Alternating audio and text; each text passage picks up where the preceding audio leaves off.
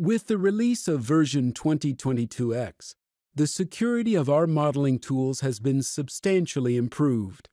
Now, modeling tools allow you to manage all secure connections through a centralized certificate manager.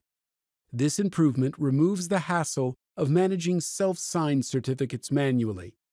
To access the manager, in the main menu, go to Options, Environment, and select Server Certificates.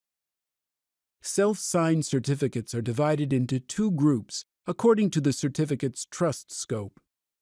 The Certificate Manager allows you to add a new self signed certificate and remove or review the details of the selected self signed certificate. Another useful Certificate Manager functionality is the ability to accept or reject a self signed certificate when a secure connection is requested.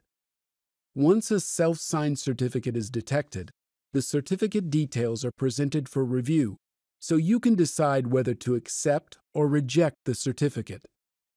Once accepted, the certificate is added to the Trusted by Current User list of certificates. For more videos about new features available in version 2022X, visit our YouTube channel.